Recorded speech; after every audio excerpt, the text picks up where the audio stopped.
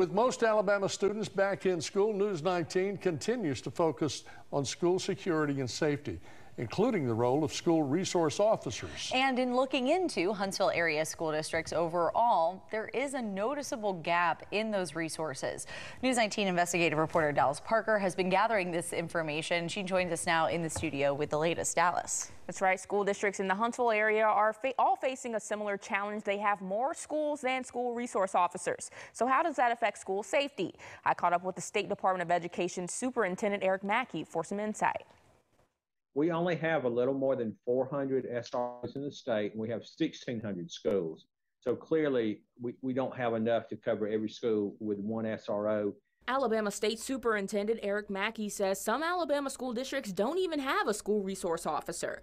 Uh, that does not mean they don't have an agreement with, say, the local police department or sheriff's office to provide security, but security and SRO are not necessarily the same. Some school districts, including Huntsville City, Madison City, and Madison County, employ SROs through partnerships with local law enforcement agencies. So, why is it that there is not an SRO in every school during the day? Mackey says a lack of money is causing the gap. There has been a question about well, could more money come from the state of Alabama as, say, a grant that could go to, to local towns um, or counties to hire more SROs? And that's certainly something that could happen.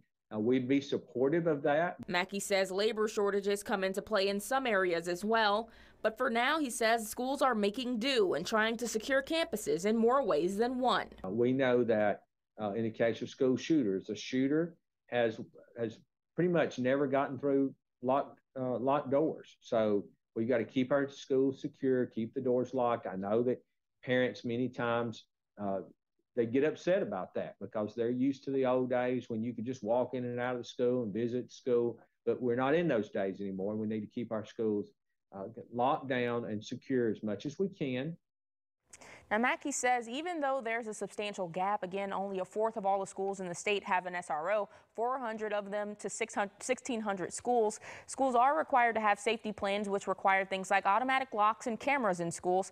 Of course, for a full rundown of what the uh, SRO data says about the three major school districts here in the Huntsville-Madison area, you can visit our website, WHNT.com.